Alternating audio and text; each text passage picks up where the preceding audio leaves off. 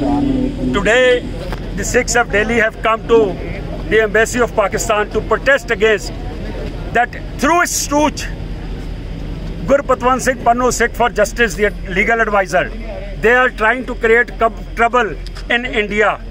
And I think they have been trying for their own interest. I want to ask Gurpatwant Singh Pannu that you want Khalistan. Why don't you become a Sikh first, which you can yourself become, and you want Sikh Raj from the uh, powerful countries like India and other things?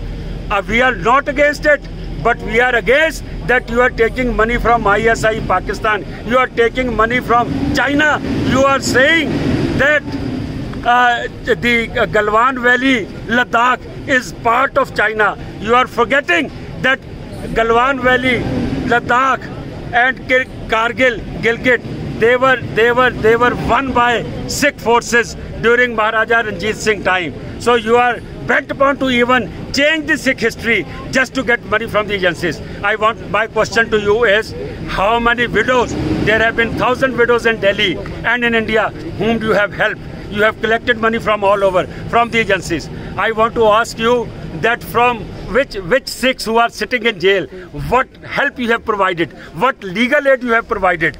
We have been fighting for last 35 years. Sajjan Kumar is inside. Uh, death penalties are being given to the 1984 culprits we have been successfully able to make a memorial for 1985 bang opposite Parliament House when Congress was in rule. Where were you? I think your agenda is personal and we won't let this allow. I want to question you. Ask Daya Singh Lahoria ji. Ask uh, uh, ji, if there is any problem, we are fighting the cases in Human Rights Commission or High Court.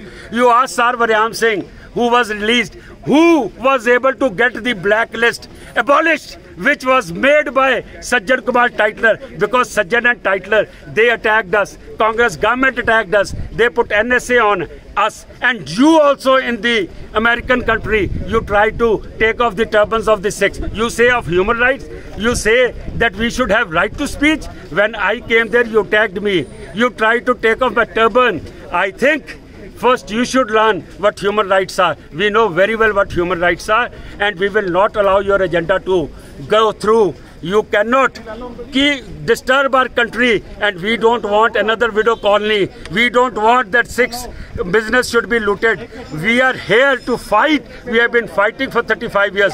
May it be Modi government, may it be Sonia Gandhi's government. We fight for our rights, and we are getting our rights. We don't need your help. We don't need your agenda.